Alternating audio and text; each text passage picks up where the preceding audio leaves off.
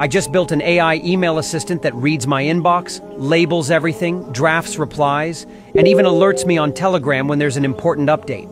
First, a Gmail trigger watches for new unread messages.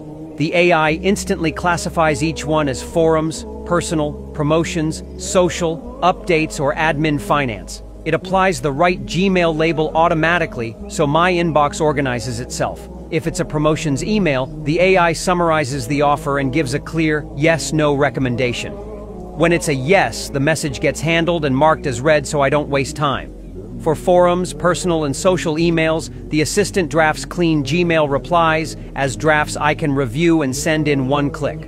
For updates, product or policy changes, it writes a tight summary and pings me on Telegram so I never miss critical changes. And for admin finance, invoices, receipts, billing, it generates a concise summary and a ready-to-send draft reply, then labels it for finance. End result, my inbox is auto-labeled. Key emails already have polished drafts, and anything urgent gets pushed to me instantly. If you want this automation, comment email and I'll DM you the full guide.